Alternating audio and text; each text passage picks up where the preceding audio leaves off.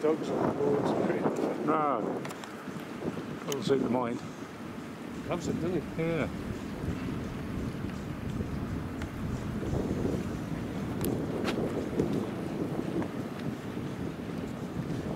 So if you had a few bob, it would be a bad place to have a house.